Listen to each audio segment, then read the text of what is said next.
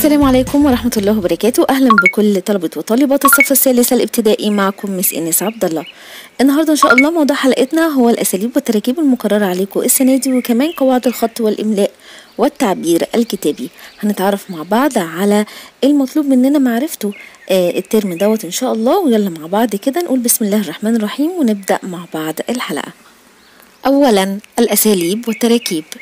مقرر علينا الترم ده إن شاء الله أسلوب النهي لا النهاية أسلوب الأمر فعل الأمر الفعل المضارع لام التعليل علامات الترقيم أدوات الاستفهام أين متى لماذا؟ أسلوب التعجب الفعل الماض ظرف المكان أسلوب النداء المفرد والجمع ظرف الزمان حروف الجر حروف العطف. ثانيا التعبير الكتابي. كتابة لافتة مصورة كتابة مطوية كتابة قصة مصورة كتابة فقرة كتابة خبر في جريدة وكتابة رسالة اقتراح.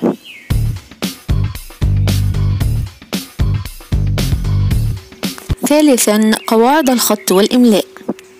أما بالنسبة لقواعد الخط والإملاء فهنتعلم مع بعض مهارات الإملاء التاء المفتوحة والهاء والتاء المربوطة وكمان هنتعلم إملاء المدود وكمان إملاء الحركات الطويلة والحركات القصيرة وإملاء الألف اللينة وكذلك الشدة. وأخيرا معانا آه، تعلم مهارات إملاء التنوين. وكده تكون حلقتي خلصت النهارده. استودعكم في رعاية الله والسلام عليكم ورحمة الله وبركاته.